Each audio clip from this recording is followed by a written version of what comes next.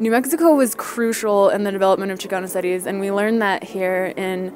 um, at UNM, and it just helped me to sort of understand this world we live in and the systems of oppression and this marginalization that we've faced and are trying to overcome, and um, it's just really helped broaden the way I perceive the world.